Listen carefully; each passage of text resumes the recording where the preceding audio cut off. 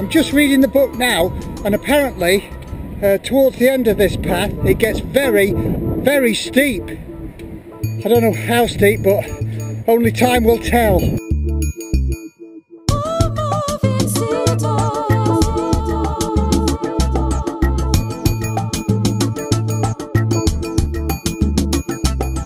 Well in the book it said it was going to be steep but I didn't think it was going to be as steep as this otherwise I wouldn't have done it.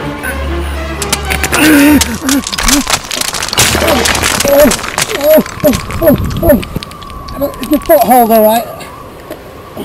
Get up off the ground and stop messing about. Hey?